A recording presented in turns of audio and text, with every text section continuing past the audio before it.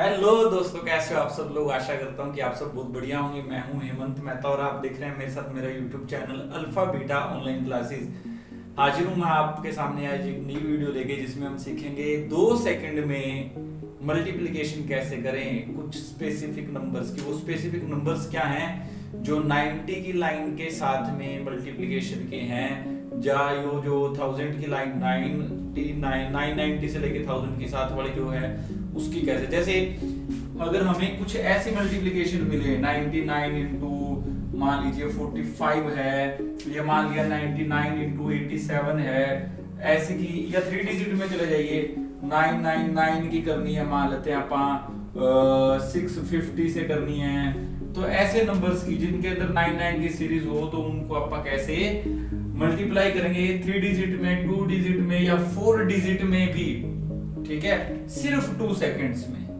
बड़ा ही इजी है। कैसे करना है? ट्रिक क्या है? सीधा आंसर लिखोगे, वो कैसे?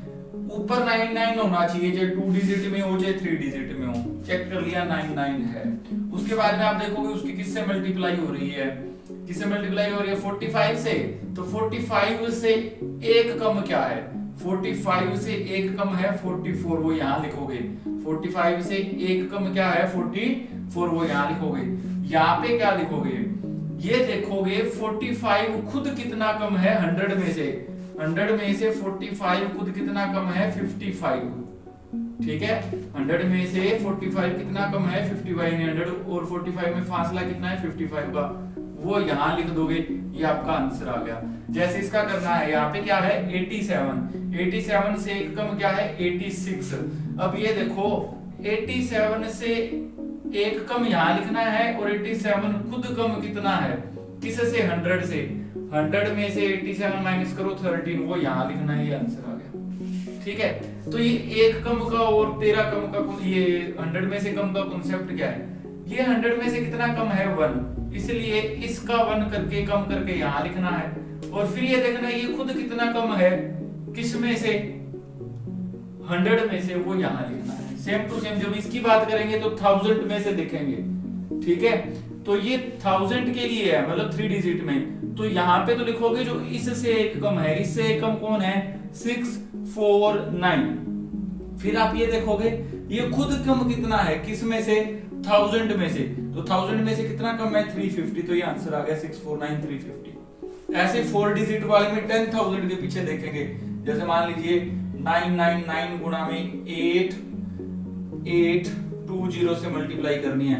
तो पहले आप इससे एक कम, इससे कम क्या है? Eight eight, one, nine. लिख लिया, फिर ये खुद कम कितना है? इसमें देखेंगे टेन थाउज़ेंड में से। ये टेन थाउज़ेंड में से खुद कितना कम है? देखो, आठ हज़ार तो सीधे उड़ गए। कितने बचे? दो हज़ार। दो हज़ार में से आठ सौ फिर उड़ गए। कितने बचे? बारह सौ। बारह सौ में से फिर बीस उड़ गए। कितने? ग्यारह सौ अस्सी। ये आपका आंसर है। तो ये ट्रिक है जिसके अंदर क्या हो? नाइन नाइन की सीरीज़ हो। टू डिजिट हो, थ्री डिजिट हो, फोर डिजिट हो, टेन डिजिट हो, कितने मर्ज़ी हो, उसके हिसाब से आप डिजिट वाइज उसको कैलकुलेशन कर सकते हो सिर्फ़ दो सेकंड में। जैसे एक आधा एग्जांपल और कर लेते हैं ये 99 को 63 से करो तो 63 से कम कितना है? 62 और 63 100 से कुल कम कितना है? 37 ये आपका आंसर मतलब सिर्फ़ टू सेकंड्स। टू सेकंड में नाइन नाइन की सीरीज़ के चाहे two digit, three digit four digit, five digit. अगर टू डिजिट है तो आपने ये जो कम देखना है, कि 87 खुद कम कितना है 63 खुद कम कितना है किसमें से देखना है? 100 में से। यहाँ पे कम देखना है थ्री डिजिट में, थाउज़ेंड में से। फोर डिजिट में देखना है टेन थाउज़ेंड में से। फाइव डिजिट में से देखना है लैख में से। तो इस तरह से हम बहुत सारे क्वेश्चन जो है वो चुटकियों में कर सकते हैं। ऐसे क्वेश्चन आते हैं मेन एग्ज़ाम में, ऐसे। चूज़ करेक्ट आंसर और यहाँ पे लिखा होता है जैसे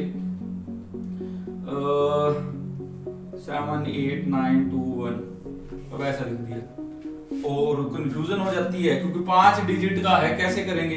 तो सिंपल सी बात है भैया जी, इसमें से एक कम यहाँ लिख दो अठहत्तर, नौ सौ बीस। एक कम करके लिख दिया। फिर ये खुद कितना कम है? क्योंकि पाँच डिजिट वाला है तो इसको लाख में से देखेंगे।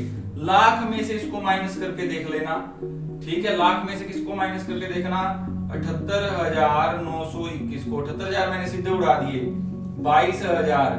बाईस हज़ार में से आठ सौ फिर उड़ा दिए। चौदह हज़ार। चौदह हज़ार में से फिर मैंने नौ सौ और उड़ा दिए। तेरह हज़ार एक सौ। तेरह हज़ार एक सौ में से बीस मैंने फिर उड़ा दिए। तेरह हज़ार अस्सी। तेरह हज़ार अस्सी में से फिर एक और उड़ा दिया। दैट इज़ तेरह हज़ार उन्यासी। ये आपका आंसर आ गया। वेरी शॉर्ट ट्रिक एंड आपके क्वेश्चन हो जाएँगे। डन बहुत काम आएगी।